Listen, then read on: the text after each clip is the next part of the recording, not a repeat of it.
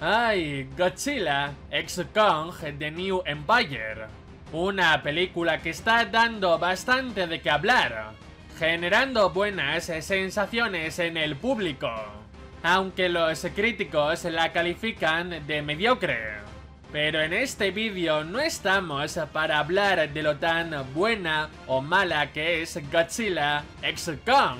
Y es que como cada nueva entrega del Monsterverse, se nos responden preguntas acerca de este universo, pero se crean otras nuevas. Vamos a hablar de un extraño titán, el cual más o menos aparece en Godzilla X Kong, siendo un ser colosal e inmenso. Puede que el más grande del Monsterverse hasta la fecha.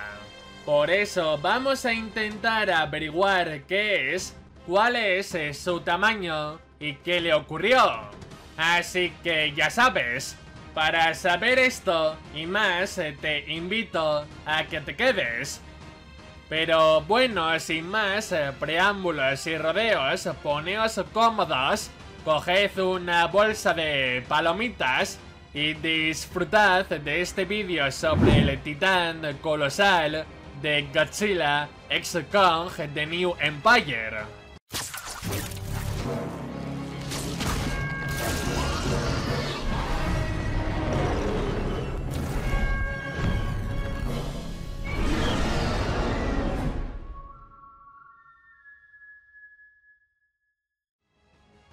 Solo vemos a este titán en una escena.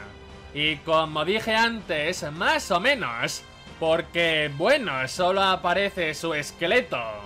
Lo que nos indica que murió hace mucho tiempo. Ahora sus huesos forman un puente en la tierra hueca, el cual conduce hasta el reino de los simios. Por eso Kong y Zuko lo cruzan. Que, por cierto, ¿No se recuerda el puente de dinosaurio de Ice Age 3? Como sabemos, Kong mide poco más de 100 metros, siendo bastante más pequeño que el esqueleto, el cual deberá medir, agarraos fuerte, más de 3 kilómetros de longitud.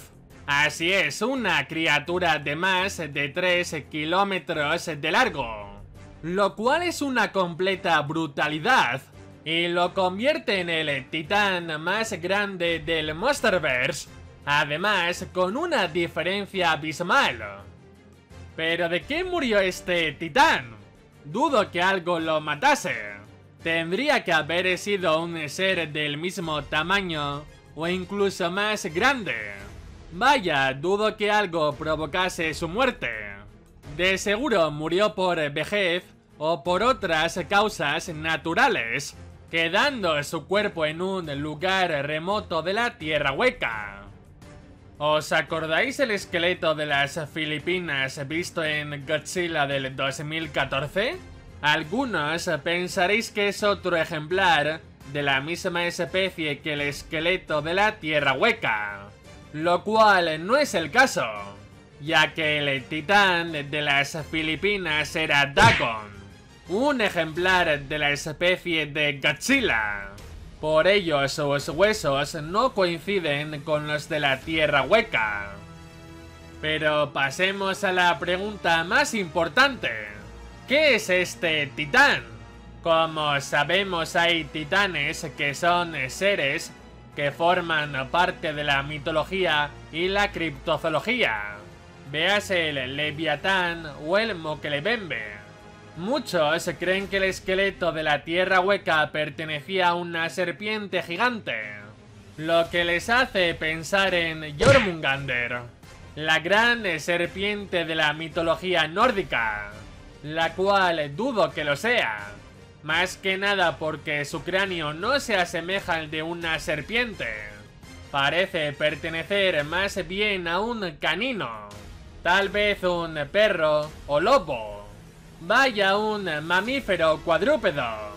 ¿Acaso podría ser Fenrir? El gigantesco lobo de la mitología nórdica. ¿Acaso fue un titán que murió en la Tierra Hueca? Pues basándonos en la lógica del Monsterverse, podría ser, ya que desde luego no es una serpiente. Así que Fenrir no me parece una opción tan descabellada. Todo lo que rodea a este titán es un misterio.